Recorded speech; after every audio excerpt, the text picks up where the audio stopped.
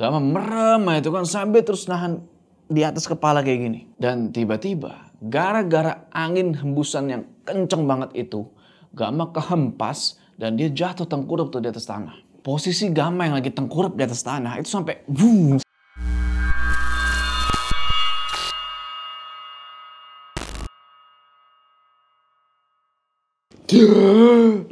Assalamualaikum teman-teman, balik lagi sama gua Joe, apa kabar kalian semua? Semoga kalian semua menonton video ini Diberikan kesehatan, dilancarkan rezeki dan selalu dimudahkan urusan-urusannya Dan seperti biasa, selalu dilindungi dari segala mara bahaya di planet ini.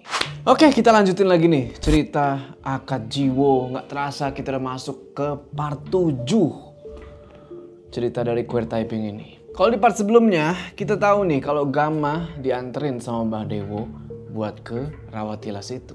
Atau lebih tepatnya ke seberang Rawatilas. Dan yang bikin Gama kaget, ketika ada di seberang Rawatilas itu, dia ketemu sama banyak hal yang gak masuk akal. Termasuk dia ketemu Alda di situ. Tapi yang jadi pertanyaan, apakah benar itu sosok Alda? Gama terus tuh ikutin sosok Alda, tapi tanah yang dia injak sekarang bukan cuma tanah lagi. Tapi udah bercampur sama tengkorak manusia dan tengkorak-tengkorak kambing. Bisakah Gama menyelesaikan mimpi buruk ini? Tonton video ini terus. Kita nggak usah lama-lama lagi. Udah siap? Mode horor aktif.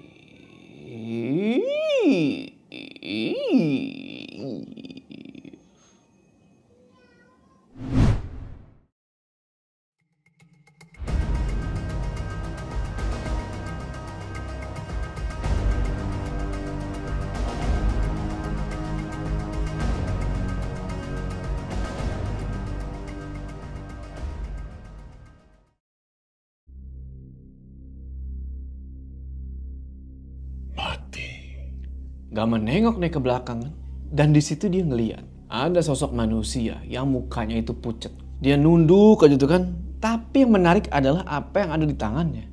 Ini orang bawa satu golok panjang. Dan goloknya itu dia seret di atas tanah. Sampai ngenain itu tengkorak-tengkorak. Terus sosok ini bilang lagi, pergi, pergi atau mati sekarang juga. Gak lama mendadak muncul nih si kakek tua yang tadi, yang bawa kayu tadi.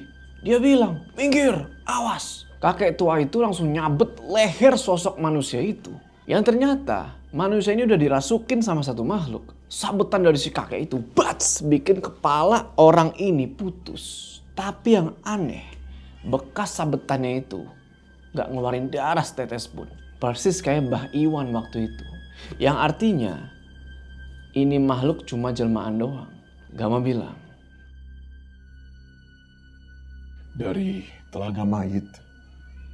Bukan sembarang orang yang sampai ke tempat ini. Benda-benda yang ada dalam saku celana kamu ditunggu sama seluruh penghuni leweng. Sosok barusan, termasuk perempuan yang diseret rambutnya itu, cuma gambaran tentang apa yang terjadi. Semua menunggu ritual persembahan akad jiwa itu terjadi. Maaf, kakek ini siapa? Setahu saya, gak ada orang yang hidup di leweng ini. Saya kenal baik sama Kilang Samana dan Ki Anam. Cuma sebatas itu. Sebentar lagi mereka datang. itu kakek-kakek langsung masuk lagi ke dalam hutan. Gak tahu dia ke mana. Gama cuma diem aja kan sambil kebingungan.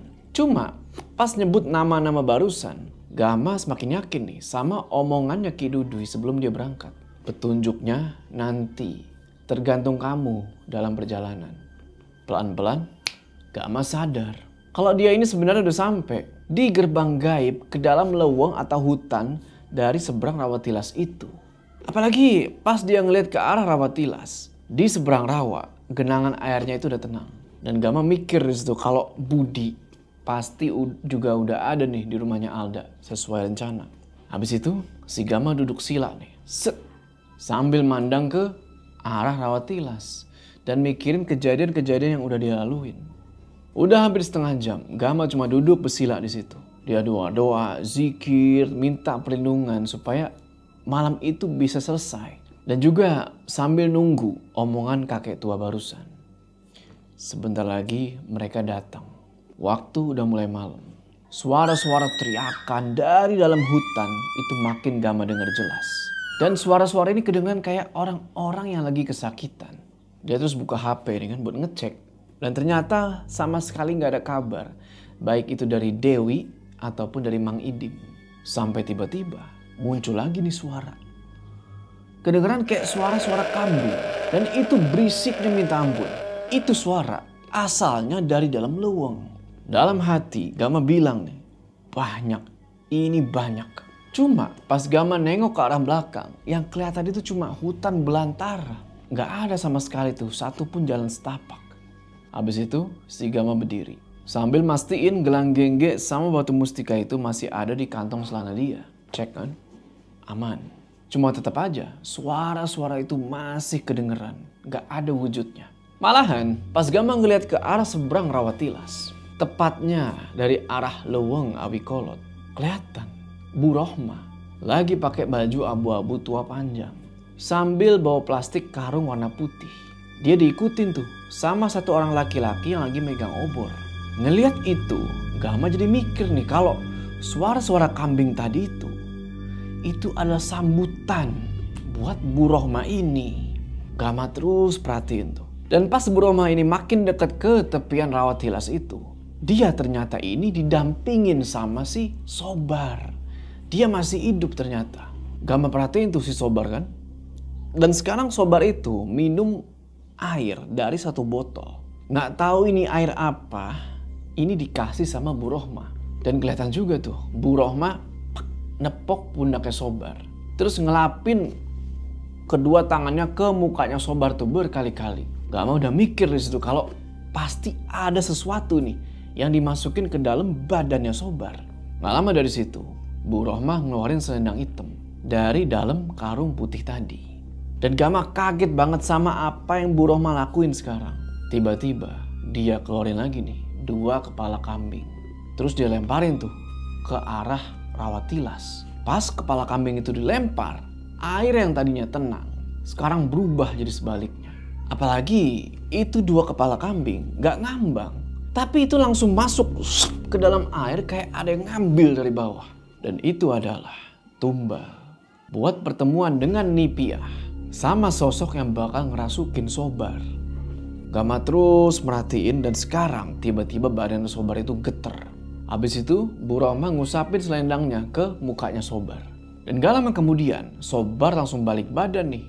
Dia pergi ke arah lewang, lewang awi kolot. Cuma sekarang jalannya itu bukan kayak manusia biasa. Tapi jadi persis kayak hewan kaki empat. Kayak kambing. Dalam hati Gama bilang, bahaya ini. Bahaya. Gama langsung ngelap keringet tuh. Dia cemas. Karena Sobar harusnya bantu si Budi. Tapi malah sekarang Alda sama Kang Ito. Dan juga Budi yang keadaannya itu jadi bahaya.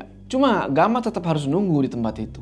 Sampai apa yang Gama pengen tahu kelihatan jelas. Dan pada akhirnya bisa mutus ikatan itu malam ini juga. Beberapa lama kemudian si Gama terus perhatiin pemandangan itu. Tiba-tiba kepalanya dia pusing dan matanya dia itu jadi burem kayak kayak ngeliat samar-samar gitu, nggak tahu kenapa. Dan bener aja. Dalam keadaan pusing kayak gitu Gama ngeliat dari jauh nenek-nenek tua yang udah berdiri tepat di depannya Bu Rohma dan tiba-tiba itu nenek-nenek begini. Nunjuk tepat ke posisinya Gama. Dan Bu Rohma cuma ngangguk ya di situ. Terus si Nipiah ini langsung uh, ngalungin selendang hitamnya ke kepalanya Bu Rohma. Dan tiba-tiba suara-suara kambing tadi yang dari dalam hutan itu mendadak hilang. Suci. Apalagi sekarang Bu Rohma udah satu rakit nih sama si Nipia. Sama kayak pas Badewo nganterin Gama ke seberang Rawatilas. Cuma karena gelap waktu itu yang kelihatan itu cuma bajunya Bu Rohma aja. Dan di sebelah kiri sama kanan itu rakit ada buaya hitam yang ngiringin. Gak lama, tiba-tiba dari arah belakang nih ada yang ngomong. Jangan di sini. Masa tamu yang datang tidak aku sambut. Darahnya segar. Apalagi kepalanya anak muda ini.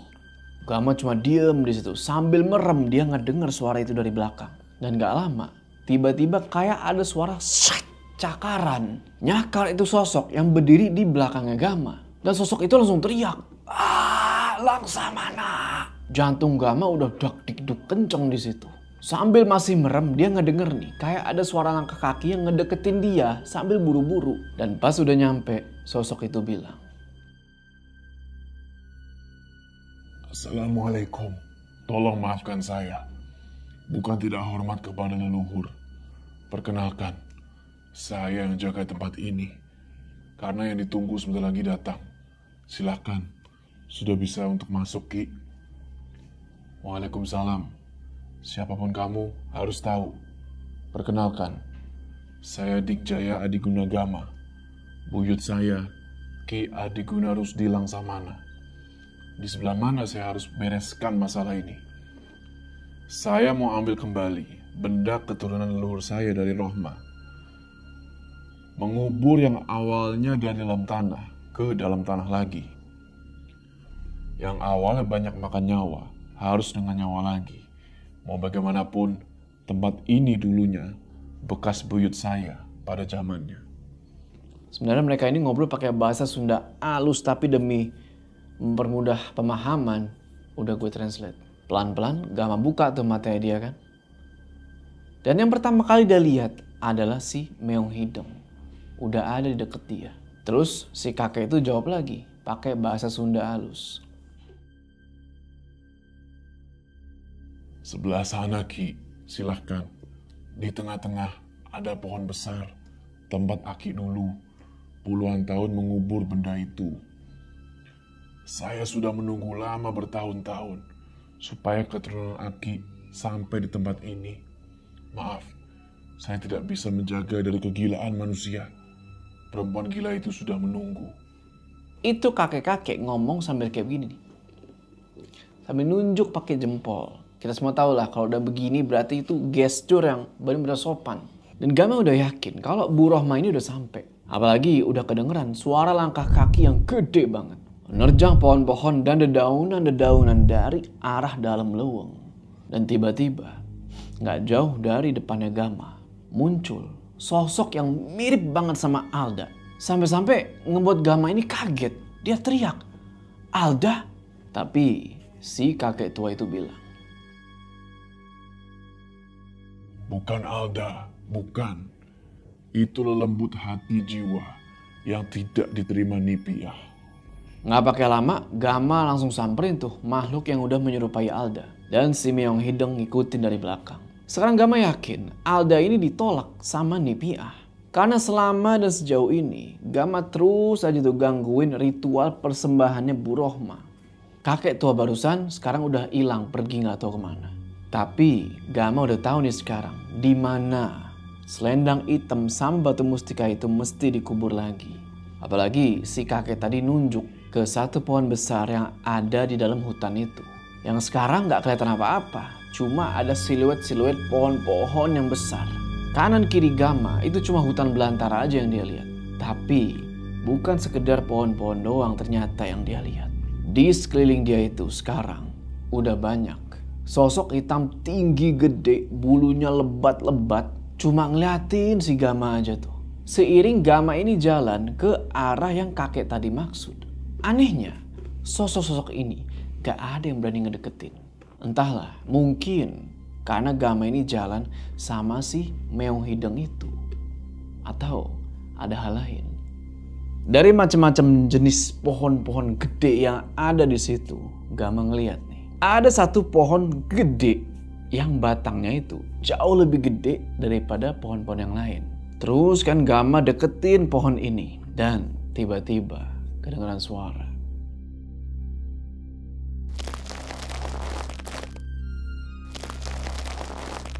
Gama yang ngedenger itu awalnya dia nggak peduliin, dia terus jalan tuh. Tapi suara itu makin lama makin jelas kedengeran, kayak langkah kaki.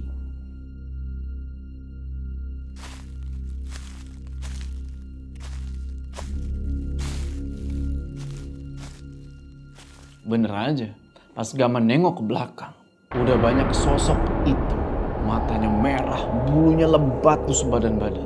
Dan dari mulut mereka itu ngeluarin lendir. Persis kayak sosok yang Gama lihat di kamarnya Alda sama Dewi waktu itu. Gama di situ jujur aja dia kaget. Apalagi sosok-sosok itu terus ngedeket ke arah Gama. Gama nggak ada pilihan lain dong. Nggak mungkin dia mundur karena pasti bakal bentrok sama sosok itu. Mau nggak mau dia terus jalan tuh ke depan. Dan Gama ngeliat tuh si Meong Hideng diem di depan kayak kayak lagi nungguin dia buat lanjut jalan gitu loh.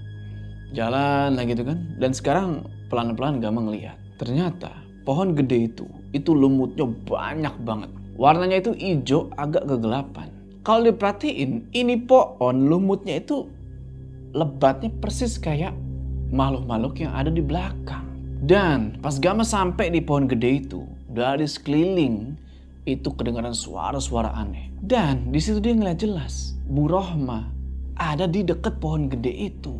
Dan di sebelah Bu Rohma itu kelihatan kaki-kaki gede-gede. Yang di mana kaki-kaki ini cuma diem aja. Badannya itu nggak kelihatan. Ketutupan sama ranting-ranting pohon gede itu. Terus Gama ngeliat nih kerudung hitam atau selendang hitam.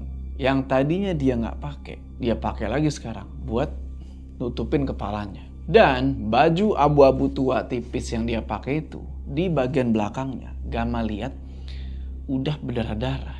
Cuma nggak tahu nih darah apa. Posisinya Bu Rohma ini ngebelakangin si Gama. Dan tiba-tiba Bu Rohma ini teriak. Minggat!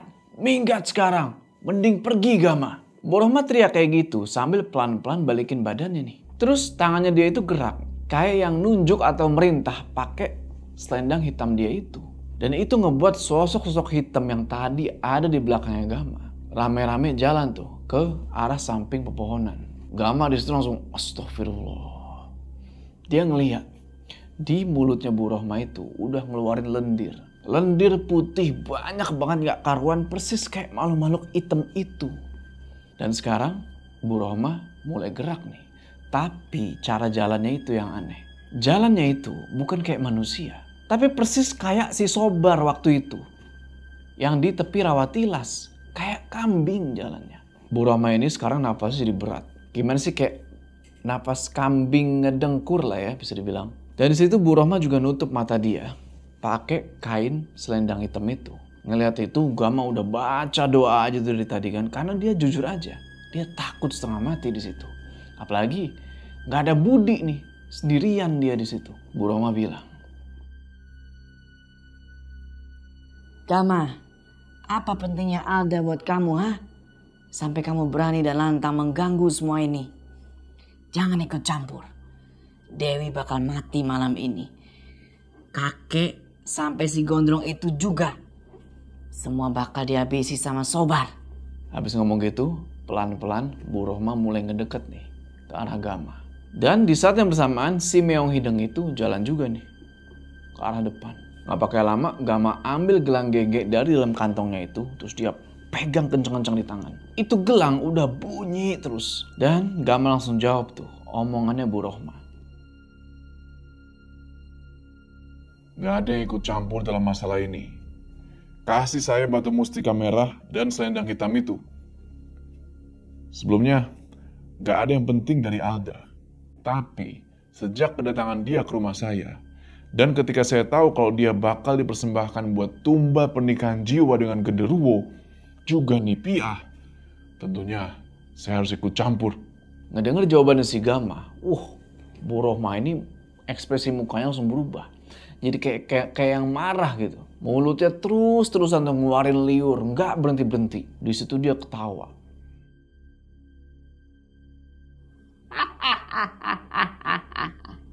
Tidak Gama. Nggak bakal aku berikan selendang ini dan batu mustika merah yang sudah aku telan. Gak bisa kamu ambil.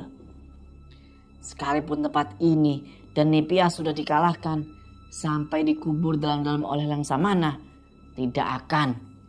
Bu Roma ngoceh aja tuh kan sambil terus ngedeketin si Gama. Cuman pas udah deket sama Gama nih, tiba-tiba dia mental tuh.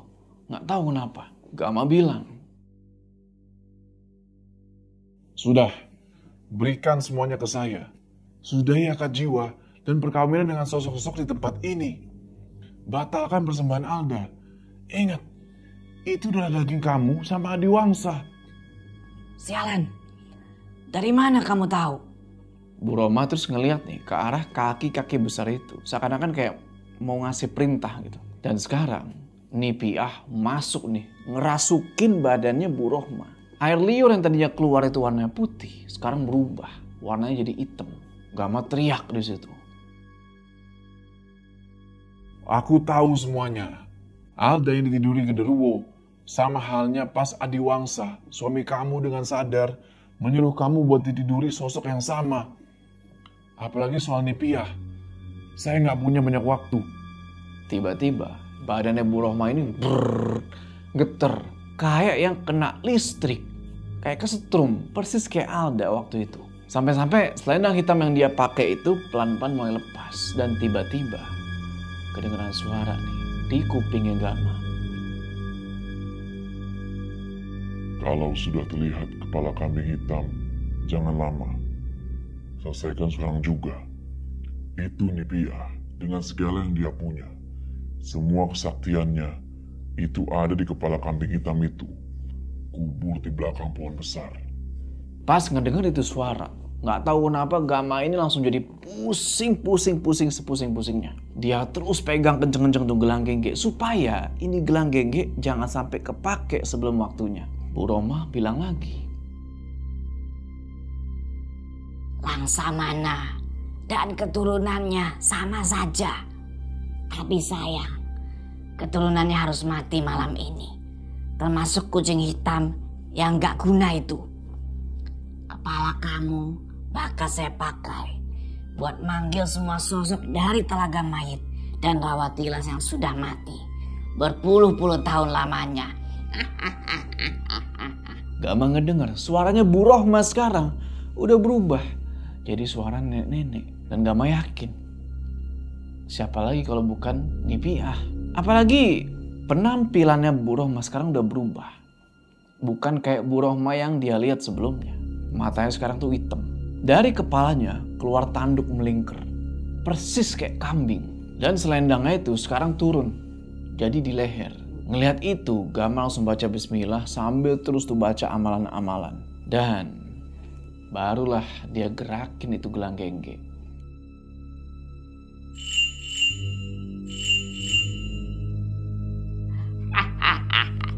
Suara gelang gengge itu sudah tidak berguna.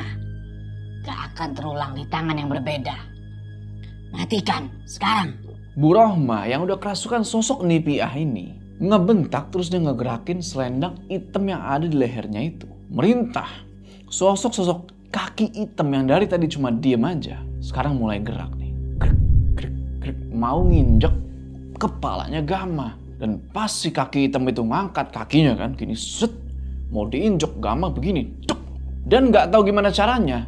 Itu tangannya Gama bisa nahan kaki hitam itu brak di tanah sama dia. Sambil nahan kaki itu dia terus pegang gelang gengge itu kenceng-kenceng dan dia tutup mata. Dalam hati Gama yakin nih kalau si Meong Hedeng itu nggak bakal tinggal diem. Dia ngedenger Nipiah teriak di situ. Mati kamu sekarang. Mendadak angin di sekitaran pohon itu berembus kenceng banget. Gama merem itu kan sambil terus nahan di atas kepala kayak gini. Dan tiba-tiba gara-gara angin hembusan yang kenceng banget itu Gama kehempas dan dia jatuh tengkurap tuh di atas tanah. Cuma tiba-tiba dia ngedenger nih, Nipiah teriak. Kesakitan. Ah, ah ampun, ampun. Teriakannya Nipiah itu ngebuat kupingnya Gama perih. Seakan-akan tuh kayak mau keluar darah dari kupingnya dia tuh. Saking ini suara nggak enak banget didengar. Sambil masih merem, dia juga nggak denger nih. Ada suara geraman dan suara cakaran tuh. Sang, sang posisi Gama yang lagi tengkurap di atas tanah itu sampai boom, sampai kegeser gara-gara efek cakaran itu. Gama yakin itu si Meong Hideng yang sekarang udah berubah jadi wujud yang sebenarnya. Nurutin suara gelang gege yang udah dia bunyiin tadi. Dan yang terakhir Gama denger itu si Nipia teriak kenceng banget. Itu adalah satu teriakan yang paling kencang yang Gama pernah dengar. Sambil terus merem tuh, dia udah gak ngerasain lagi ada injekan kaki dari atas yang ngenain tangannya. Malah sekarang Gama ngerasa nih, kayak ada bulu-bulu halus jatuh tuh ke badannya. Habis itu suasana udah hening, gak ada lagi suara cakaran itu, gak ada lagi suara apa-apa. Pelan-pelan Gama buka mata. Tek! Di situ dia ngeliat si Meong Hideng jalan sambil kepincang-pincang ke arah pohon gede itu. Dan di situ Gama, astagfirullah. Bukan, bukan karena si Meong Hideng itu.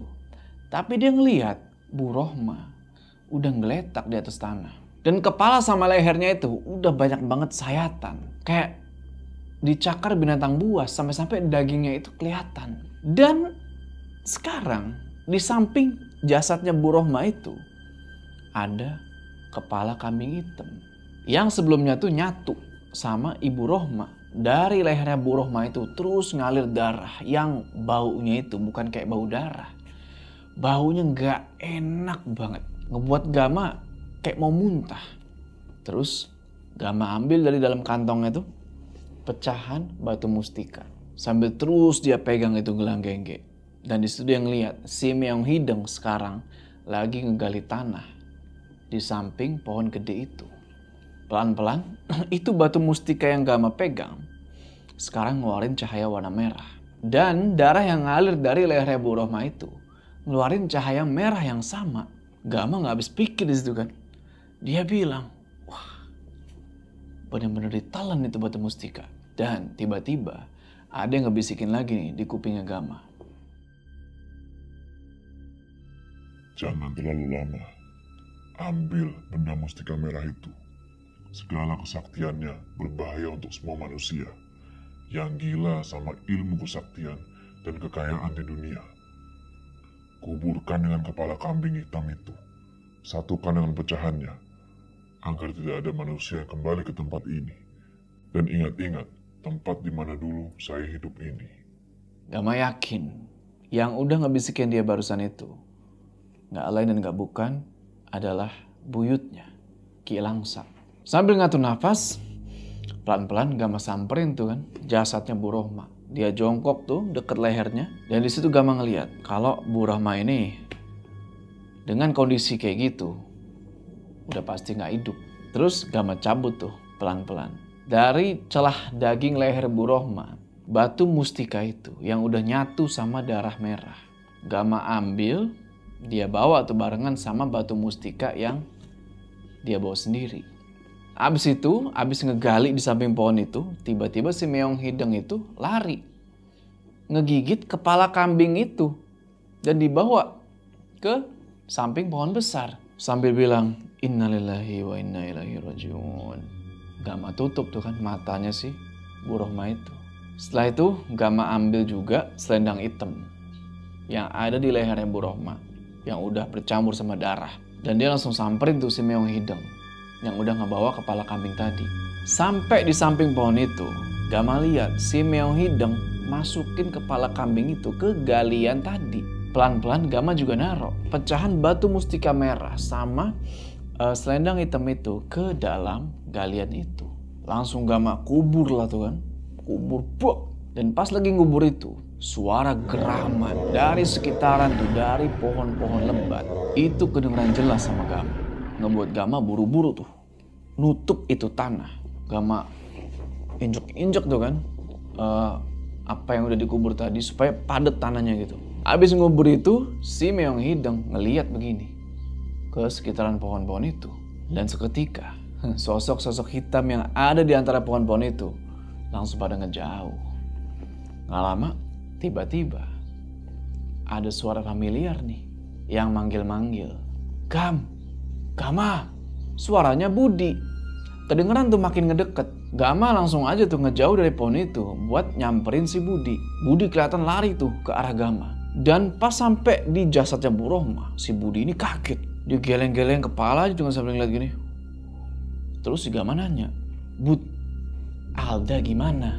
Gama nanya gitu sambil kaget juga karena dia ngeliat bajunya Budi itu udah berlumuran darah. Cuma nggak tahu nih darah apa dan apa yang Budi udah lakuin. Budi bilang, Makanya aku susul ke sini. Kakek tuh penjaga gerbang nunjukin ke arah sini. Cepat, waktunya nggak lama. Alda kritis. Bud, tapi jasad Bu Rohma nggak mungkin kita tinggal di sini. Bukan urusan kita. Cepet, kakek tua itu yang ngurus tempat ini. Termasuk jasadnya Rohma. Telat sedikit, Alda bisa sama nasibnya. Kayak ibunya itu. Gama langsung jalan cepet tuh, ngikutin Budi dari belakang. Dan kelihatan juga tuh, dari pisau yang ditaruh di belakang punggungnya Budi. Itu pisau udah berdarah-darah. Gama, wah ini si Budi bener-bener nih abis, abis ngabisin siapa nih nggak tahu. Terus si Budi bilang lagi, Jangan pikir semua ini sudah selesai. Cuma karena tubuh Rohma, kepala kambing, sampai dua benda mustika itu sudah kamu kubur, Gam. Belum. Gama terus ngeliat ke belakang kan. Si Meong Hidang itu ngikutin. Dan jasadnya Bu Rohma sekarang lagi dikelilingin sama sosok hitam. Dan sosok-sosok hitam ini pelan-pelan jalan ke arah galian. Tempat Gama sama si Meong Hidang itu ngubur benda-benda tadi. Dalam hati Gama bilang, bakal ku inget pohon itu. Sekarang Gama sama Budi udah balik lagi nih ngelewatin gerbang gaib yang sebelumnya Gama ini ditolongin sama kakek tua itu. Gama nanya lagi ke Budi. Bud, sebentar.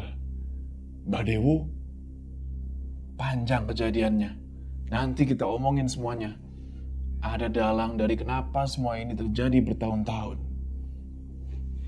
Singkat cerita, akhirnya mereka keluar tuh dari leweng atau hutan yang ada di seberang Rawatilas. Nah, pas Gama ini lagi lari sama Budi, dia ngerasa nih kalau ada yang lagi merhatiin dia dari belakang. Sontak dia nengok begini, dan ternyata yang ada di belakangnya dia itu adalah si kakek tua yang tadi. Si kakek tua ini cuma ngangguk sambil ngeliatin ke arah Gama. Terus mulutnya tuh kayak kayak ngucapin sesuatu tapi Gama nggak tahu apa. Habis itu si kakek tua ini balik badan dan dia jalan tuh masuk ke dalam hutan. Pas sudah sampai lagi di tepi rawa, Gama langsung Innalillahi. Langsung nyebut dia karena dia ngeliat di rawa itu atau telaga cindek itu udah banyak sosok-sosok manusia ngambang. Terus ngeliat Gama yang shock kayak gitu, Budi bilang, Besok juga pas pagi itu nggak akan ada, ikut tenggelam. Setelah jasad Rohman nanti ngambang. Sekarang Alda yang jadi urusan kita. Satu langkah lagi. Budi langsung ajak si Gama nih buat naik ke atas rakit. Yang sebelumnya dipakai sama Badewo buat nganterin Gama tadi. Nah, yang menarik pas si Meong Hideng itu ikut naik ke atas rakit. Budi ini tiba-tiba tek, nunduk gitu kan. Kayak yang segan gitu loh. Gama bilang, pantas saja. Ki Dudui bilang sangat bahaya pas semua sosok dari telaga mayat ini bisa dihidupkan. paling bahaya kalau Rohma dan Ipiah nggak kamu habisi Gam. Bukan aku yang habisi Rohma. Sosok makhluk dari lowong awi kolot barusan digerakkan sobar. Pas Rohma dan Ipiah nunggu kamu di dalam lowong seberang. Jangan tanya keadaan sobar. Jasadnya belum aku pindahkan ke mana-mana. Masih di tempat yang sama. Pas dulu Adiwangsa mati. Udah tuh kan? Mereka semua naik ke atas rakit dan jalan nih. Gama terus ngeliat ke arah jamnya. Dan ternyata sebentar lagi itu udah mau ganti hari. Dan singkat cerita, mereka berdua udah masuk lagi nih ke dalam leweng Awi Kolot. Tujuan mereka sekarang adalah pergi ke rumahnya Alda. Sekarang, suasana leweng Awi Kolot itu udah beda. Nggak kayak pas Gama sama Budi pertama kali datang ke situ. Semua makhluk-makhluk gak jelas yang ada di dalam leweng Awi Kolot itu. Kayak kehilangan arah, kehilangan induknya gitu. Mereka berdua jalan terus dan singkat cerita pas udah sampai di kandang yang ada tepat di belakang rumahnya Bu Rohma, Budi bilang, itu jasadnya Sobar. Nanti aja kita urusin. Kang Ito sama Alda udah nungguin. Ya udah kan, mereka jalan tuh ke kamarnya Alda. Dan pas si Gama ini ngelewatin jasadnya Sobar, dia ngeliat bagian perut sama mukanya Sobar ini udah kena sayatan benda tajam. Yang Gama yakini itu pasti dari si Budi, siapa lagi. Dan Itu tumbal-tumbal kepala kambing yang dikubur. Udah kelihatan di sekeliling bagian belakang rumahnya Alda. Gama sambil kaget gitu dia bilang ke Budi. Bud, jangan bilang kamu yang habisi Sobar. Gak ada pilihan lain, Gam. Daripada Alda sama suaminya terancam, nanti kepala-kepala itu aku beresin. Sambil ngebuang jasad Sobar ke rawatilas. Budi terus ngebuka pintu dapur. Buat masuk jalan nih ke kamarnya Alda. Dan pas Gama ini mau jalan masuk, tiba-tiba Budi ini balik badan terus nyamperin Gama. Dia kayak, Gam, Gama bingung dong. Dia nanya, Bud, kenapa? Budi tarik itu jaketnya si Gama kan buat nahan dia. Terus dia lapin tuh darah yang keluar dari kupingnya Gama. Sampai-sampai itu darah bekas ngelap kupingnya si Gama itu. Budi cium kan. Dan di situ Budi marah besar. Dia bilang, Aku balik lagi ke seberang rawatilas. Aku habisi semua makhluk di dalam sana. Siapa yang ngelakuin ini? Bud, udah Bud. Ini bekas teriakan nih aja. Udah, udah. Semuanya udah kekubur. Ayo, mending kita selesaiin masalahnya Alda. Nanti aku yang jelasin ke Kidudui semuanya. Bukan salah kamu. Ayo. Buat apa aku jaga Alda? Ngabisi sobar. Kalau kamu sampai begitu. Ya udah kan. Gama sama Budi masuk tuh. Kelewat pintu dapur ke kamarnya Alda. Meong Hideng ngikutin dari belakang. Mau sampai ke kamarnya Alda, mereka berdua ngedenger nih. Kang Ito lagi nangis dari dalam kamarnya Alda yang pintunya kebuka. Gak menanya tuh ke Budi. Mana Bijenap? Budi bilang, jangan kaget lihat kondisinya Bijenap. Orang itu sekarang ada di kamarnya Alda. Bener aja. Pas mereka masuk nih ke kamarnya Alda, mereka lihat ada Bijenap. Cuma diem aja. Mukanya itu udah berdarah-darah. Kayak yang kena cakar. Sampai-sampai pas Gama sama Budi datang, matanya Bijenap ini nggak gerak sama sekali. Pas ngeliat si Gama, Kang Ito bilang, Pak Gama, biar dulu Jenap, nggak bakal bahaya. Cakaran di mukanya sebanding sama akibat tunduk dengan Rohma. Untung aja aku nggak habisi juga si Jenap. Gama cuma ngangguk aja di situ kan. Terus dia nyuruh Kang Ito buat ngambil air minum nih di dalam satu wadah. Lalu si Budi langsung naik nih ke atas kasur dan dia duduk bersila tuh di depan badannya Alda. Terus si Gama ngebangunin Alda nih. Posisi badannya dibangunin terus disenderin tuh ke tembok. Budi sambil megang tangkuknya Alda kayak gini kan. Dia bilang, sekarang Gam. Dan Gama bilang, iya Bud, cepet. Habis itu pelan-pelan si Gama merem sambil terus tuh baca doa-doa sama amalan-amalan. Dan dia terus tuh neken-neken punggungnya si Alda. Berusaha buat nutup semua celah yang sebelumnya dipakai sama sosok hitam berbulu itu buat merasuki si Alda ini. Pas lagi digituin sama Gama, si Alda ini teriak, ah. Gama ngerasa di situ kalau keadaannya Alda ini udah mau balik normal lagi. Dan si Gama bilang ke Budi, habisin aja Bud, cepet. Di situ tiba-tiba Alda langsung, wah, muntah. Gama buka matanya kan. Dan di situ dia ngeliat, muntahannya si Alda ini warnanya hitam. Yang kasihan Budi ini kena muntahnya si Alda karena kan dia tepat di depannya si Alda kan pas Alda muntah trot kena lah bajunya tuh semua. Gama terus ngebisikin nih di kupingnya Alda. Alda, ini Gama, suami sahabat kamu, Dewi. Lawan Alda, lawan. Muntahin aja semua. Kang Ito yang baru aja masuk lagi ke dalam kamar. Langsung diem tuh ngeliat Alda. Karena si Alda lagi-lagi ngeluarin muntahan warna hitam. Gama ngebisikin lagi. Alda, kalau kamu dengar suara aku, kamu ngangguk.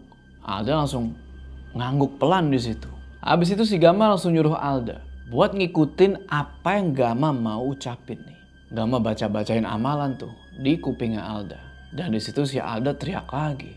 Ah, dia muntah tambah banyak tuh. Sampai kena bajunya si Budi. Gama terus nyemangatin Alda tuh kan. Ayo Alda, kamu bisa. Tapi tiba-tiba si Budi ini ngomong, Gam, udah Gam. Dan Kang Ito juga bilang, udah melotot itu matanya Alda. Tapi sambil nahan terus tuh badannya si Alda. Gama minta ke Kang Ito buat minumin si Alda ini satu gelas air. Dan dia bilang lagi ke Alda buat jangan ngomong dulu. Tahan, tahan. Tapi yang aneh itu sekarang malah Bijenap yang teriak. kayak orang yang lagi kerasukan. Budi langsung turun dari kasur dan dia langsung geleng-geleng kepala. Di situ Gama bilang, Alhamdulillah. Udah, udah. Tahan dulu. Jangan mikir apa-apa. Di depan kamu ada suami kamu. Kam, ganti semua pakaian Alda. Sama basuhin itu air ke semua badan Alda. Sekarang ya, cepat. Habis itu Gama langsung turun dari kasur dan ngajak Budi buat ngebawa Bi Jenab keluar dari kamarnya Alda. Nggak pakai lama, Budi langsung seret tuh Bi Jenab keluar kamar. Ayo cepet. Terus tiba-tiba si Budi ini ngomong ke Gama yang ngebuat Gama jadi bingung. Gam, tunggu di sini. Biarin Jenab kayak gitu. Susah, gak akan sembuh. Aku urus dulu yang jadi kunci semuanya. Maksudnya, Bud? Aku nggak paham. Udah, tunggu aja. Ya udah kan, Gama cuma diem aja tuh, nungguin Kang Ito yang lagi ngebersihin badannya Alda di dalam kamar. Dan si Budi ngebiarin aja tuh si Bijenap yang lagi diem di samping tembok kamarnya Alda. Terus dia pergi nih ke arah dapur. Nggak tahu apa yang Budi lakuin di dapur itu, tapi nggak lama dia balik lagi nih. Ternyata dia itu ngambil palu sama cangkul yang lumayan gede. Gama langsung nanya dong. Bud, ada apa lagi? Tunggu aja. Satu kepala kambing hitam dikubur di lantai keramik kamarnya Rohma. Aku tahu dari Sobar sebelum dia mati. Habis itu Budi langsung brak, dobrak tuh. Salah satu pintu kamar yang paling besar yang ada di rumah itu. Itu adalah kamarnya Bu Rohma. Budi masuk, terus dia hantemin itu palu ke salah satu lantai keramik yang ada di kamar itu. Gama langsung ikut masuk tuh, nyamperin Budi. Dan di situ dia kaget. Karena ternyata seisi kamarnya Bu Rohma itu sajen semua. Terus pas Gama ngeliat lagi ke arah kamarnya Alda. Anehnya, Bi Jenab yang tadinya diem. Sekarang malah kelihatan kayak anak kecil lagi seneng-seneng. Meong Hidong sekarang ikut juga tuh masuk ke dalam kamarnya Bu Rohma. Ngeliatin Budi yang lagi ngegali. Dan di situ Budi bilang, Bener Gam, ada di sini. Aku gali dulu. Pak, Pak Gama, Alda sudah mendingan. Udah sana Gam, urus saja Alda. Aku bakal buang semua tumbal-tumbal kambing di seluruh rumah ini. Termasuk Sobar dan jasadnya ke Rawatilas. Ya udah kan, lama terus balik lagi tuh ke kamarnya Alda. Dan di situ Alda udah sadar dan dia kelihatan kaget. Ngeliat Gama yang udah ada di depan dia. Alda bilang, Gama? Udah, jangan dipaksain Alda. Yang penting kondisi badan kamu membaik dulu. Gimana lagi nih pak? Itu Budi lagi apa? Gimana kondisi ibu? Pagi ini mungkin keadaan Alda bakal jauh lebih baik. Budi lagi ngelakuin apa yang harus dia lakuin. Terima saja. Nanti kabar pagi soal Ibu Rohma dan Sobar. Mungkin bakal ngebuat kampung Sakalanang ini gempar. Ibu meninggal Pak Gama. Anehnya, pas Alda ngedengar omongannya Kang Ito, Alda ini kelihatan kayak yang biasa aja. Padahal Kang Ito jelas-jelas nanya, ibu meninggal. Dan dijawab sama Gama, ngangguk. Alda ini kayak lagi nginget-nginget sesuatu. Gak lama mereka ngeliat tuh si Budi jalan ngelewatin depan kamar. Dan dia sambil ngebawa kepala kambing warna hitam. Dan itu kelihatan jelas sama Kang Ito. Dia kaget bukan main, tapi yang aneh si Alda. Lagi-lagi dia ngeliat itu. Tapi biasa aja. Dia malah bilang, Pantas. Susah buat Alda nerima semua ini. Apalagi beberapa hari ke depan. Aku sudah ngelakuin apa yang harus aku lakuin, Kang itu. Tolong jaga nama aku dan Budi. Biar nggak ada satu orang pun yang tahu soal kejadian malam ini. Kalau besok kabar dari kampung ini ramai. Sobar, saya lihat sendiri. Sudah, jangan diterusin. Pindahin Alda malam ini. Buat sementara, jangan tidur di kamar ini. Bi Jenab, biarin aja dulu. Gam, terima kasih. Nanti kalau sudah sembuh, aku datang ke rumah kamu. Ada hal yang perlu kamu tahu soal ibu dan bapak. Memang harga sebanding semua ini. Urusan besok, jangan Pak Gama pikirin. Itu urusan saya di sini. Tapi, apa sobat dan ibu jasadnya dirawat tilas Pak Gama? Gama cuma ngangguk. Sambil terus mastiin seisi rumah itu. Mastiin kalau rumah itu udah bersih dari semua makhluk-makhluk. Lewang awi kolot, rawat tilas, dan telaga cindek. Dan semua kejadian yang udah terjadi tadi malam, Gama jelasin ke Kang Ito sama Alda. Biar mereka ini paham sama kondisinya. Pantas saja, aku pernah ngeliat ibu. Tunggu kamu sembuh total. Aku bakal tunggu kamu di rumah sama Dewi. Setelah semuanya selesai di rumah ini. Baik Gama, terima kasih. Sampaikan juga ke Dewi, semoga Dewi baik-baik aja dan gak kena imbas dari kejadian ini. Udah hampir satu jam tuh. Gama sama Kang Ito cuma di luar kamar Alda aja tuh. Sementara Bijenap diem aja tuh nggak sadarin diri. Dan si Meong Hideng itu nggak tahu dia tiba-tiba udah hilang atau ke mana. Di situ tiba-tiba Kang Ito bilang. Sama kayak Bijenap pas pertama kali aku lihat dan dianterin sama Abah Dewo. Kondisinya kayak gitu. Cuma sekarang kondisinya lebih parah Pak Gama. Kasian. Tapi mau gimana lagi? Risikonya nggak pernah main-main. Masih hidup aja udah bagus. Ayo Gam, kita harus pulang. Kakek sama Mang Idim udah pasti nunggu kita. Pakai motor atau mobil yang ada di rumah aja Pak Gama. Sebentar, saya ambilin kuncinya. Mobil aja. Bud, kasihan Kang Ito. Bakalan susah Kang Ito ngelupain kejadian di belakang Gam. Pas aku ngabisin sesobar yang udah dirasukin sosok dari rawat tilas. Dua jasad sudah mengambang di atas air rawat tilas. Rohma dibawa sama kakek penjaga gerbang gaib. Maafin aku. Maafin buat apa, Bud? Jangan main-main. Nanti kamu juga paham. Ayo cepet. Itu Kang Ito udah bawa kunci mobil. Ini Pak Gama, terima kasih buat semuanya. Mungkin saya nggak bakal sanggup buat ngebalas semua ini. Bawa aja dulu mobilnya. Nanti saya pasti bakal berkunjung ke rumah Pak Gama setelah Alda baikan dan semua urusan di kampung ini selesai. Apalagi saya yakin jasad ibu dan sobar bakal ngebuat kampung ini gempar. Semua tanah bekas aku gali tumbal-tumbal di seluruh rumah ini udah aku rapin lagi. Kalau ada waktu, tanamin pepohonan atau apa pun di sebelah kalian. Ini, bawa sebagai petunjuk. Soal kandang, kalau bisa, sudahi bisnis itu. Kalau mau semuanya selesai.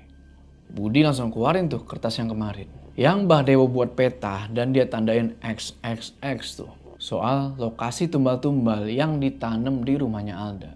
Di situ Kang Ito jawab. Baik, maaf saya sudah ngeliat kejadian sobar. Salah kamu sendiri. Habis itu Budi narik tangannya Gama ngajak dia buat keluar rumah. Kang Ito nggak nganterin tuh sampai depan rumah atau gerbang. Karena dia disuruh sama Gama buat nemenin Alda. Nah singkat cerita, pas Gama sama Budi ini naik ke dalam mobil. Mereka ngeliat lagi tuh si Meong Hideng. Lagi berdiri di depan pintu rumahnya Alda yang udah ditutup sama Kang Ito. Gama bilang,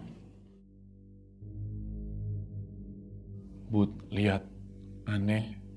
Kucing hitam masih diem di situ. Aku bilang, semua ini belum beres. Aku udah minta maaf juga kan?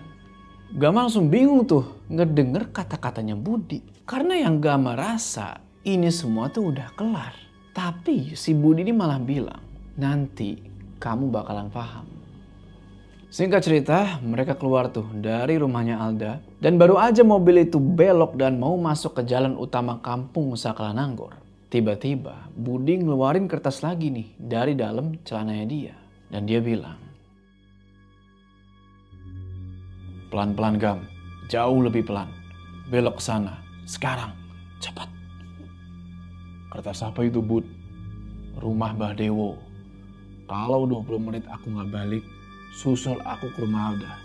Kalau nggak, ke rumah Dewo. Maksudnya, Bud, aku nggak paham. Ini baru mau ngomongin Mbah Dewo. Mbah Dewo, satu-satunya orang yang belum mati. Setelah ngasih tahu ke Adiwangsa soal akad jiwa yang kemudian dilakuin sama keluarga Adiwangsa sama Rohma. Mbah Dewo bakalan ngabisin Kang Ito sama Alda. Nunggu aku sama kamu pergi dari sini, Gam. Ini bahaya. Dan bener aja. Abis ngomong gitu, Budi ini nunjuk ke arah spion. Dan di situ Gama ngeliat kakek-kakek tua jalan kayak lagi buru-buru ke rumahnya Alda. Budi bilang lagi. Mbah Dewo berharap selamat dari sesuatu yang bakalan nimpa hidup dia. Pakai cara ngabisin Kang Ito sama Alda. Kamu tunggu di sini, Gam. Ini urusanku. Biar semuanya selesai.